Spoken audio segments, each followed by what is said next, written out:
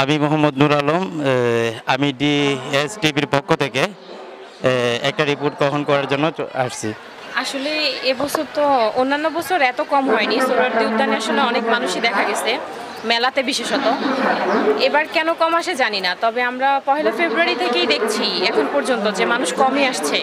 আমরা আশা করছিলাম যে দশই ফেব্রুয়ারির পর থেকে হয়তো মানুষ বেশি হবে কিন্তু আজকে পহেলা ফাল্গুন হওয়া সত্ত্বেও কিন্তু মানুষ কম। আর আসলে ওই দিক থেকে ওই দিক দিয়ে তো ঢুকার গেটটা এখানে আমাদের বাহির হওয়ার গেটটার পাশে হচ্ছে আমাদের স্টলটা আমরা এজন্য আশা করি কি মানুষ ঢুকে ও পাশে মানে পূর্ব দিকে চলে যায় এ পাশটাতে আসে না। সেজন্য হয়তো এখানে গ্রাহক বই সবচেয়ে বেশি আসছে মেলাতে। কাদের বই সবচেয়ে বেশি চলতেছে আসলে দেখছি যে সবাই আসলে যে আনিসুল হক স্যারের বই খোঁজে হুমায়ুন আহমদ স্যারের বই খোঁজে আহমদ সফার কিছু বই খোঁজে। যেমন আমাদের স্টলেও আহমদ সফার দুটো বই আছে একটা ওনার ছোট গল্প একটা হচ্ছে ওনার জীবনী। এই টাইপের বইগুলো বেশি খোঁজে। আর নজরুলের দেখা যায় কিছু কাব্য সংকলন খোঁজে বা ওনার গানের বই খোঁজে কবিতার বই খোঁজে তেমন রবীন্দ্রনাথেরও তা সচরাচর এখন যারা কবি তাদের চেয়ে ওই যে পুরানা যারা কবি ওনাদের বইগুলোই বেশি চলছে।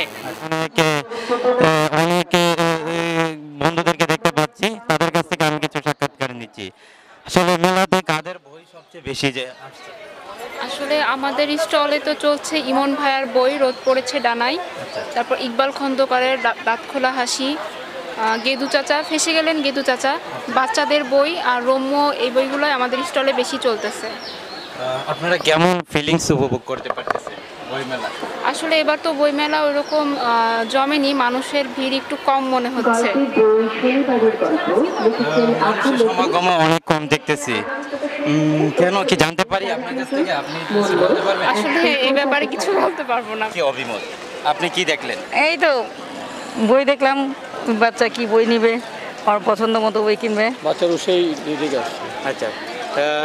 মেলা থেকে কিছু কিনছেন? এখনও কিনি নাই। সামনে যাচ্ছি আরেকটা দিক ঘুরে নিই তারপরে হ্যাঁ, ওটাতে যাব তারপরে এখনও কিনা হয় নাই। এটা ঘুরে দেখলাম সামনে আরেকটা ওই ওই রাস্তার পাশে যেটা আছে আমরা ওখানে যাব। যাই নিশ্চয়ই বই কিনতে আসছি বই দেখতে আসছি কিনতে আসছি কিনে নিয়ে যাব। থ্যাংক ইউ ধন্যবাদ আপনাদেরকে। ধন্যবাদ সিডি টিভির পক্ষ থেকে আপনাদেরকে সবাইকে স্বাগত।